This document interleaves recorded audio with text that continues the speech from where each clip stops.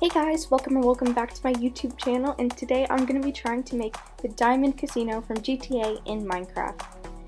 While this video is relatively short, it did take a super long time to make so I hope you enjoy and let's get started. The first thing I needed to do was make this little entryway where the cars pull in, so I started by making a 30 by 50 block rectangle out of netherite and raised that by 5. So it's a total of 6 high now. And on the edges you're going to want to cut out over here and fill in with either quartz or white concrete. I liked white concrete because it was a little dimmer than the quartz. And you're going to want to build that out. But make sure to leave the outline and build the outline out as well. Do that on both sides, but you're going to want the left side to be a little shorter because the doors are a little to the left and then make the doors. So I just did that by cutting out some netherite and leaving a little top portion just because of the way the doors look and I put in glass.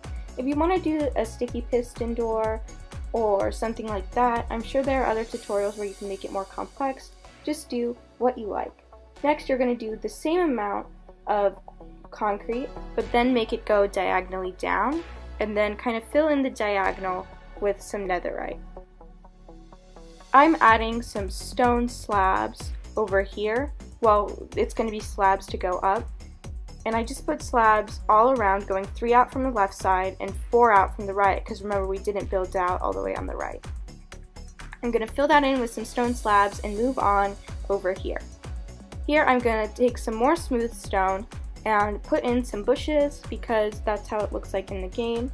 If you want to have the game up with you, that's totally cool too, or just find some reference pictures, or you can just do it from memory. It really doesn't matter. Now feel free to bring this portion all the way out to the street if you're doing the full GTA environment, but I'm just making sure I have kind of a darker outline and then the 8 bricks in the middle. This is just for the cars to pull in, and I have uh, 10 blocks of smooth stone going out and then I kind of enclosed the first four with some more slabs and then I'm kind of just making this little portion and bring it all, all the way to the edge. I'm gonna add some bushes all the way in the middle and here is what it looks like so far. I just put two blocks of grass in the very middle just so I could use it as a reference and brought the sides out by 15. Next, I brought the some concrete out all the way forward so it's in line with the stone we built out and I'm just going to go diagonally or more of a curved way all the way to the back and fill that in, making sure it's hanging over the sides somewhat.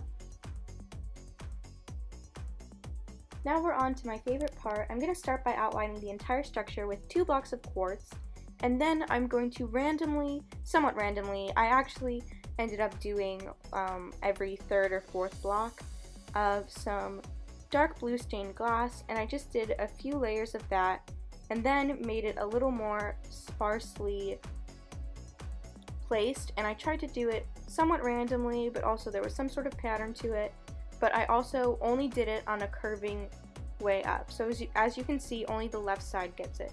Now here is the right side of the building and you can just see I'm doing the exact same thing, randomly placing things.